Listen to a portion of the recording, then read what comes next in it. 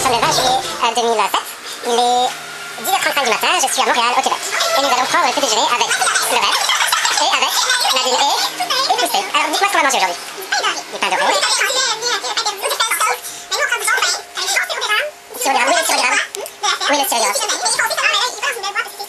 D'accord. Et il vient d'où? Ah.